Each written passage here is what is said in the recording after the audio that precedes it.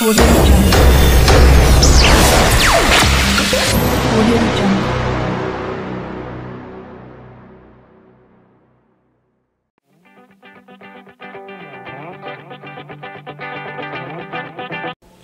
now let me talk about uh, one of the important device in power electronic converter circuits that is silicon control rectifier that is uh, we can call it as normally SCR. This is a thyristor family device. It is very popular in power electronic application.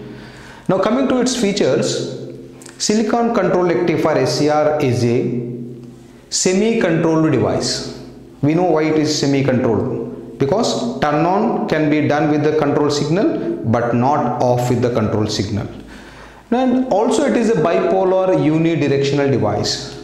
According to its characteristics, it blocks both the polarities of voltages and allows only one direction of current that is forward direction. That is what is called as bipolar unidirectional device. Also called as latching device. Why it is called latching device? Once SCR gets turned on by giving proper gating signal during its forward bias condition, gate loses its control over anode circuit. Means that gate does not require any control signal to sustain in the on state. When SCR enters into the latching state. That is why it is called latching device. And it is a high power low frequency device. That is why SCR is more popular in high power applications it can withstand uh, more power when it is used in practical applications. It is approximately megawattage range. So and also low frequency means basically we know that if you have any device high power the frequency range should be low right? So it is up to 1 kilohertz frequency it can be used in any applications. When you come to the structural details it is a four layer three junctional three terminal pnpn switching device now coming to its structure this is the structural details of the SCR device it is a four layer three junctional three terminal pnpn switching device the four layers alternate PNPN. Here P is moderately doped. The doping concentration is moderately doped. N minus is a lightly doped layer.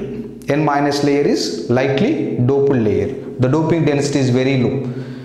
Because of this lightly doping layer, this is also called as epitaxial layer, drift layer, its blocking capability would be high means voltage blocking capability would be high as we know that this n minus 1 layer exists in all power semiconductor device because of this power semiconductor devices have more power rating than signal level devices now coming to this n minus this is a drift layer or epitaxial layer lightly doped layer which has high resistive layer now this again P is a moderately doped again as like P1. Let it simply we can call it as this is the P1, this is the N1, P2 and N2.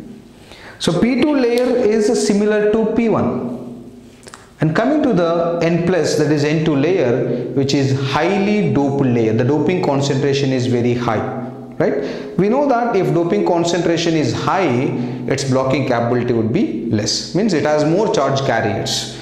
Whereas n minus layer has lightly doped so that charge carriers are less. Because of this resistivity would be high. Here resistivity would be less here resistivity would be high so this is the structural details of the silicon control rectifier because of these four layers there are three junctions j1 pn minus J2 and again Pn minus, J3 P and N plus. So because of this, see J1, J2 both have one lightly doped layer. Because of this, J1, J2 can block more voltage. Whereas J3 which is formed from both one is a moderate doped and second one is a highly doped so doping concentration of the two layers high that is why it blocks less voltage when it is used in application So now these are the junctions with these three, four layers. And also it has three terminals, anode and cathode. Anode and cathode both are connected to the power circuit. That is why these two are called power terminals. Whereas when you come to the gate, which is called control terminal. Why it is called control terminal? As we know that it is a semi-control device, it requires a control signal to turn on process. So in order to turn on the SCR, we should give proper gating signal. The gate current IG should be in the form of pulses. So this when you apply this positive gate current, SCR comes to on state. That is why gate terminal should be required. So it has a four layer, three junctional, three terminal device.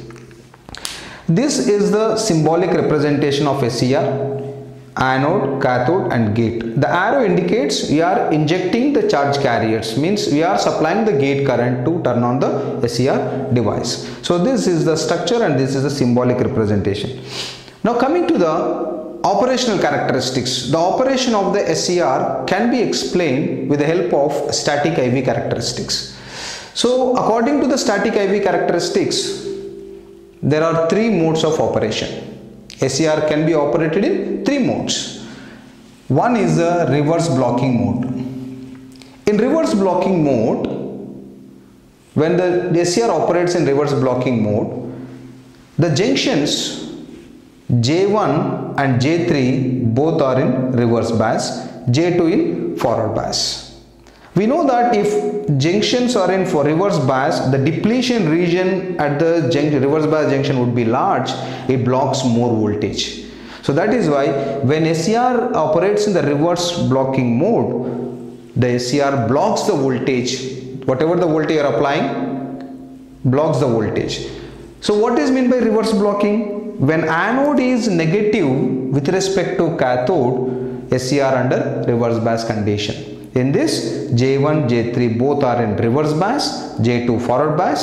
So because of this reverse bias junction, depletion region width should be large which blocks more voltage. That is why SCR operates in off state means open switch. Now if you give the positive voltage to the anode with respect to cathode, now SCR comes to forward bias condition. So when SCR is in forward bias, when SCR is in forward bias, J1, J3, J1, J3 both are in forward bias, J2 reverse bias. But still junction J2 is in reverse bias condition. Again the width of depletion region should be large and again it blocks voltage. So that is why even though SCR is in forward blocking mode, it blocks the voltage right? So when it blocks the voltage it means that device in still off state. So SCR is in off state. That is open switch. Acts as an open switch. So why we may ask a question why when it is in forward bias condition it blocks the voltage?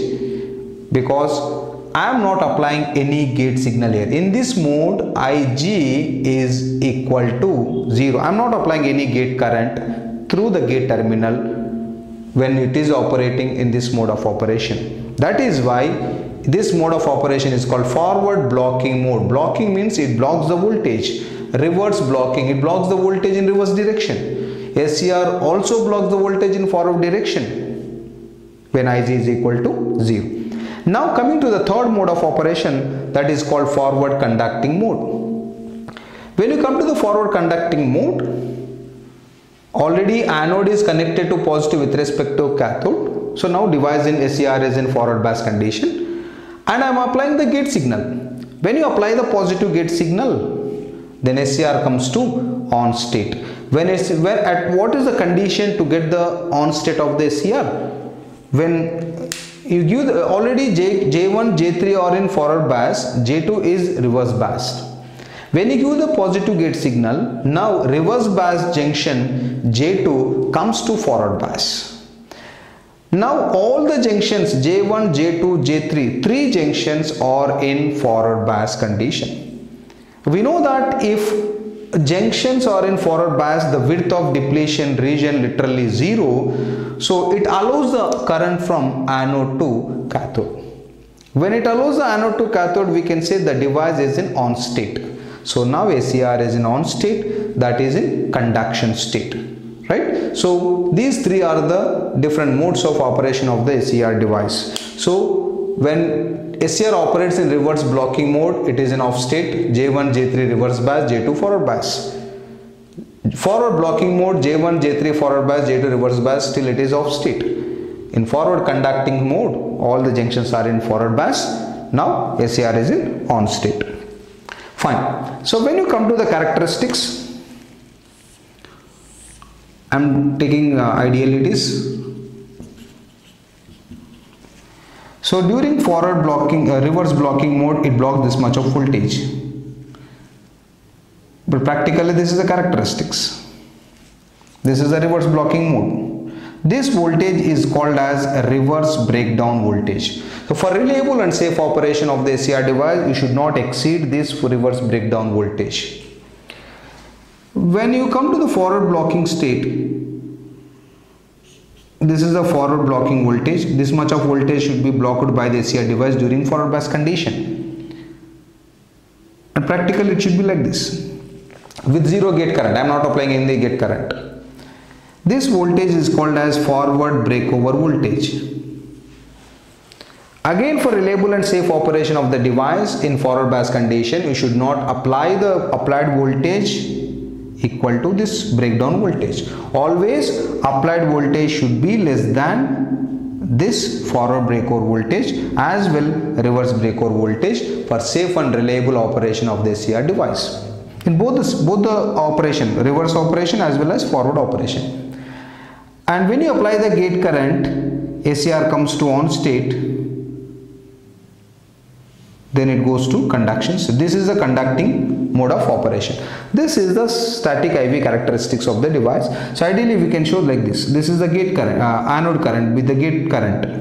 So reverse voltage forward voltage forward current. That is why SCR is called bipolar unidirectional device so this is the static IV characteristics of the SCR device in this state off state in this state off state in this state on state now coming to the another important things in this uh, static IV characteristics of SCR that is operation of the SCR. In this case there are two important things during the turn on as well as turn off of the SCR device. So here there is one current here I'm, i said uh, you should apply the gate current Ig which is greater than 0 when you apply the positive gate current SCR comes to on state right? Then uh, reverse bias junction J2 comes to forward bias. Now all the junctions should be in forward bias. Then SCR comes to on state. But at what condition we can say SCR is completely on state? Means SCR gets fired completely. Here you should apply the gate current until anode current should be greater than the specified current called latching current so latching current is always IL is called latching current. Latching current is used for turn on process. The latching current is used for turn on process. Now once we know that when SCR enters into the latching state after application of gate signal gate loses its control over the anode circuit. Means if you remove the gate signal the SCR does not come to off state. Still it is in on state. Because gate uh, SCR does not require the gate signal to sustain in the on state. Because the device already entered in the latching state right? So once SCR is in on state it acts as a uncontrolled device we can remove the gate signal. Need not to maintain the gating signal to sustain in the on state right? But how it comes to off state? We should reduce the anode current below a specified current called holding current. Here it is a holding current. So these two are very important in the operation of the SCR device. So latching current IL used for the turn on process holding current IH is used for the turn off process So what is the latching current? It is the minimum current above which anode current rises for reliable turn on of the SCR device. Latching current is the minimum anode current or minimum current above which anode current rises for reliable operation of the SCR device. What is the holding current? It is mi minimum current below which anode current falls for reliable turn off of the SCR device or also we can say holding current is the minimum current to maintain the to operate the SCR in on state. So below holding current device goes to off. That is why latching current used for turn on process, holding current used for turn off process. So from these uh, characteristics we can say latching current is always greater than holding current. It's a very important relation. Latching current is always greater than holding current. Then how many times it, uh, latching current greater than holding current? Latch ratio of latching current to holding current is 1.5 to 3 times. It is another important thing in a competitive examination. The ratio of latching current to holding current is 1.5 to 3 times. This ratio is fixed to any rating of the SCR whether it is a 100 ampere rated SCR or 1000 ampere rated SCR or whatever it is. The ratio should be constant. The ratio of latching current to holding current is 1.5 to 3 time uh, 3 now what are the conditions for the turn on and what are the conditions for turn off as we discussed already here latching and holding currents are very important to turn on as well as turn off of the SCR device right? So when you come to the turn on conditions the foremost important thing is device must be in forward bias. Means anode should be positive with respect to cathode. When SCR is in forward bias the second thing is you should apply the positive gate current. So first is the device should be in forward bias. The second is anode uh, gate current should be positive, should apply positive gate current. The third is how long you should maintain the gate signal, gate current. The gate signal should be applied across gate cathode of the SCR until anode current greater than latching current. This is a very important condition. When anode current greater than latching current, then SCR comes to on state completely. Otherwise, it cannot be fired. It can be seen. What does it mean?